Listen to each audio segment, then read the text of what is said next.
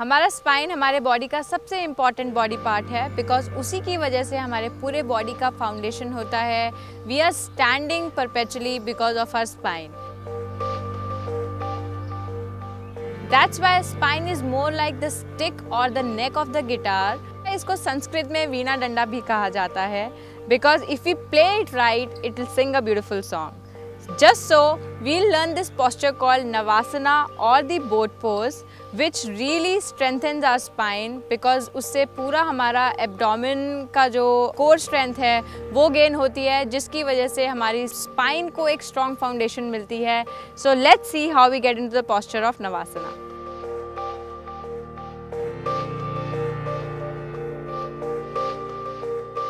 Navasana में आने के लिए आप इस तरह से दंडासना में आए और उसके बाद अपनी सिट बोन्स को, अपनी हिप बोन्स को ग्राउंड पे फर्मली प्लेस करते हुए, अपने लेग्स को नीज से बेंड करते हुए इस तरह से लिफ्ट करें।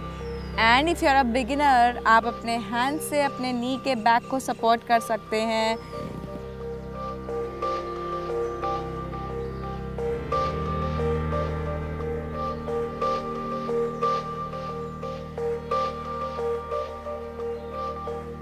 Keep your spine erected Navasana is actually all about developing your core strength जिससे कि आप अपनी स्पाइन को सपोर्ट करते हैं and at the same time आपके एब्डोमिनल ऑर्गन्स भी काम करते हैं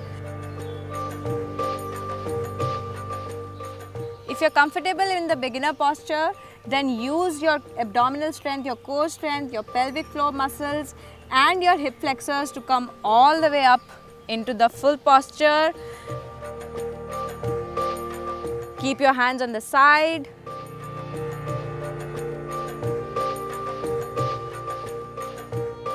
Feel the tension, the compression on your core in alignment. Your hands are really stretching. Your spine is getting lengthened. आपके टोज बाहर की तरफ पॉइंटेड हैं core is burning. That's why it is everybody's favorite posture. Make sure that you don't go back in the posture down. Keep straight and still and steady. Stay for five breaths. And to return from posture, come back slowly to your center. अगर आपको हमारा नवासना का video पसंद आया तो इसे like करें share करें और योगा तक को सब्सक्राइब करें। Thank you